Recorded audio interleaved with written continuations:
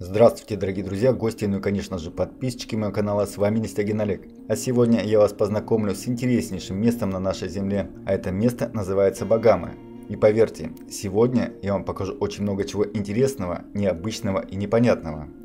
Ну и давайте начну вот с такой вот меточки под названием «Ладонь рука». Вот в этом месте находятся странные озера. А чем они странные, давайте я вам сейчас попробую объяснить. Вот, к примеру, два озера. Посмотрите внимательнее. Одно озеро, похожее на отпечаток огромной левой ладони. Вот здесь мы видим большой палец, указательный, средний, безымянный, ну и мизинец. Ну а рядом от этой ладони такое ощущение, что и остальная часть руки. Как будто, знаете, оторвали и положили рядом. Не правда ли похоже? Ладонь и рука. Вот здесь отчетливо видно локоть, что-то оторванное, ну и ладонь сама. Фантастика, не правда ли? Я, к примеру, удивлен, никогда не видал такое вот совпадение. Вот это вот первая находочка. Ну а дальше я вам покажу также интересную находку, но уже от Сергея Белякова. У Сергея Белякова на Яндекс.Дзене есть канал, и я оставлю ссылочку в описании, где я взял эти координаты. Так вот, Сергей Беляков обнаружил здесь под водой вот такой вот самолет и утверждает, что этот самолет Пабло Эскобара. Здесь небольшая статья, координаты, можете сами почитать. Ну а мы давайте вернемся к карте и посмотрим более детально. Да, вот так вот самолет выглядит через небольшую толщу воды. Как видите, его отчетливо видно. Вот такая вот находочка от Сергея Белякова. Ну а мы далее нам предстоит еще много чего интересного здесь увидеть и удивиться. Я уже заранее оставил метки, поэтому долго мы здесь ничего искать не будем. Вот, к примеру, давайте меточку под названием «Вопрос» посмотрим. Вот в этом месте также обнаружил необычный объект. Да, его только можно увидеть при максимальном приближении. И вот также не ясно, что это такое. Вроде не самолет, на какой-то крест похож, немецкий. А рядом что-то запикселизовали, не правда ли? Такая вот находочка также, но уже моя личная. Вот так его отлично видно, этот крестик. Не знаю, похоже на самолет. Ну, может быть это какой-то парусник необычной формы, кто его знает. Если внимательно смотреть побережье, мы видим то, что это побережье размывается, как бы, ну и вода окрашивается вот такой вот цвет. Также непонятно, почему именно в одном месте только берег размывается, а в других нет. Рядом озеро необычное, практически идеально круглой формы, похоже на воронку, затопленной водой. А вот немного далее, вообще фантастика, назвал я меточку капли. Давайте покажу вам, что это за капли. Вот здесь через толщу воды видно странные капли, похожие на нефтяные, Такое ощущение, что они как бы по стеклу стекают. Посмотрите, как это похоже. Может быть, они ползут к берегу, а может быть, наоборот, от берега их размывает и получается вот такой узор. Вот таких вот капель здесь. Не сказать то, что гигантское количество, но предостаточно. И также непонятно, что это такое может быть. На кораллы не похоже. Может быть, под водой нефть сочится а ее дальше просто от берега размывает. Как вы думаете? Вот здесь же видно. Черные пятна, а от них хвостики небольшие. Вот здесь прямо гроздь таких вот образований странных. Неясно, что это такое может быть. Хотелось бы услышать и ваши комментарии. Что это может быть? Я уверен, что никто из вас не найдет информации на эту тему. Это мы можем лишь посмотреть по Google карте, пофантазировать немного, подумать, ну и написать, конечно, в комментариях, что это может быть. Вот такие вот артефакты рядом с богамами. А также давайте еще одну меточку посмотрим под названием шов. Вот здесь интересная посадка деревьев. Да, вот такие вот интересные просеки. их пересекает странная посадка деревьев, похожие на шов зашитый. Посмотрите, как это отчетливо видно.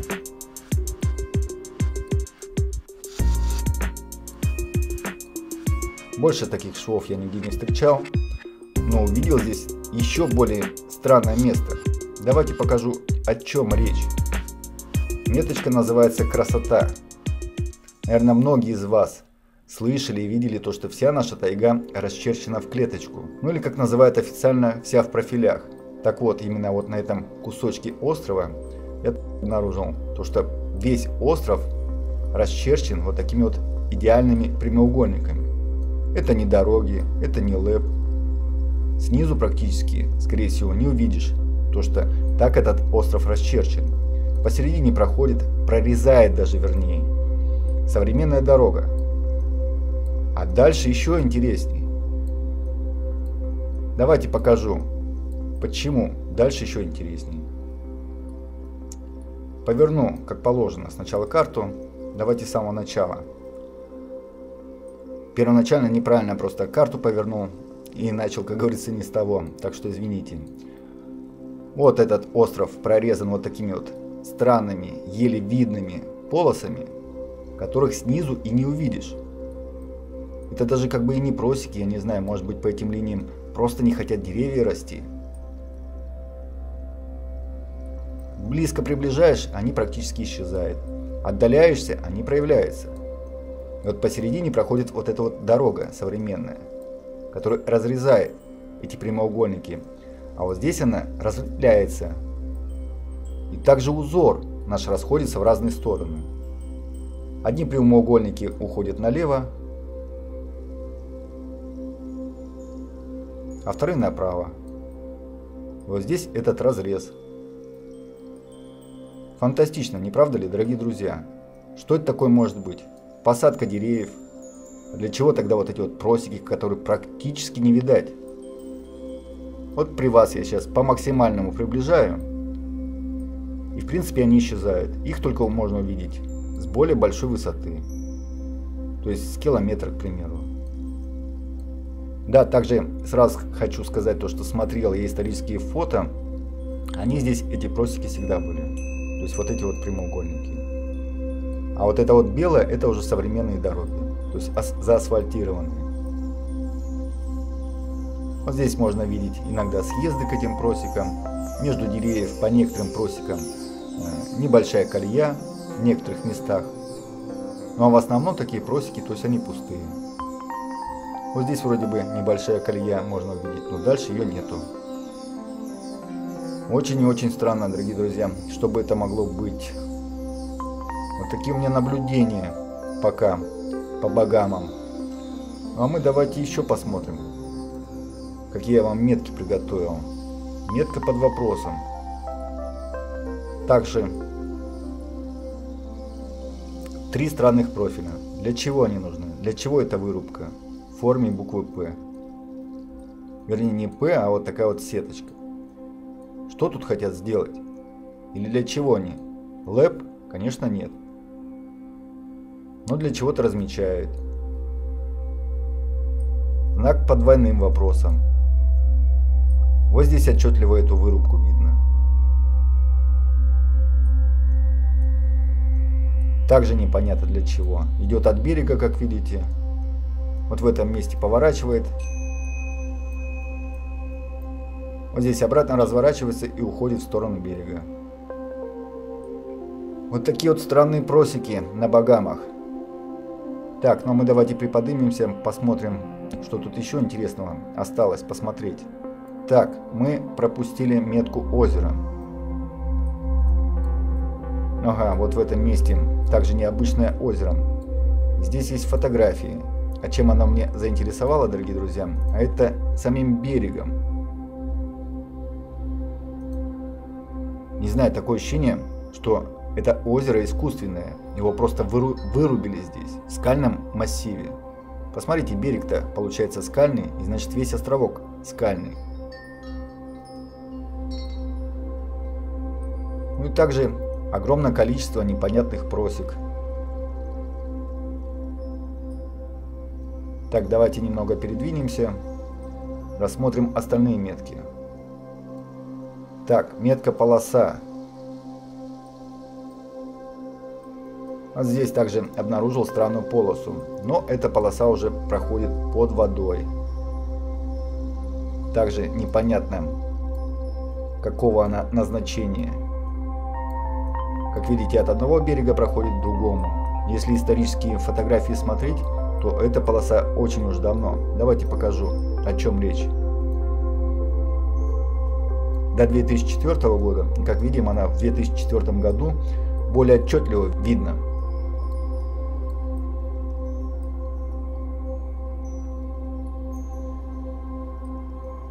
Как вы думаете, для чего эта полоса?